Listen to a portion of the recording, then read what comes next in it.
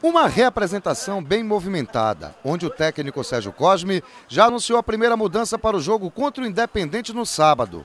Ari, que desfalcou a equipe por suspensão, está de volta. Outras mudanças poderão ocorrer, pois Thiago Potiguar também já está liberado para jogar, após cumprir também suspensão. Neste caso, Thiago seria o atacante ao lado de Rafael Oliveira com Alex Oliveira retornando ao meio-campo. Inclusive, nesta posição, Alex Oliveira deu outra cara ao time bicolor, jogando na sua real posição no segundo tempo. Pode piscar, né? Se você piscar um pouquinho, você vê que já tem um companheiro ali doido para pegar a vaga e isso faz com que você se motive mais e trabalhe mais ainda para segurar sua posição. Os jogadores que estão dentro não querem sair, quem está fora está querendo entrar, né? Então, é legal essa briga pela posição, uma briga sadia e, e para o treinador é melhor ainda porque ele tem todos os jogadores à disposição e pode trabalhar com o que ele tem de melhor. Outro assunto que chamou atenção ontem à tarde na representação foi o horário do jogo do último domingo, às 10 da manhã. Menos mal que o Paysandu venceu, porém, não é do agrado dos jogadores. O horário 10 da manhã judia com o atleta.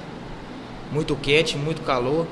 É, para um jogo de futebol você pode ver que o jogo se tornou bastante lento. Tava um jogo, parecia que estava todo mundo amarrado. Então, não é para qualquer um jogar 10 horas da manhã, não. Eu prefiro particularmente e acredito que a maioria do grupo que às 16 horas é bem melhor.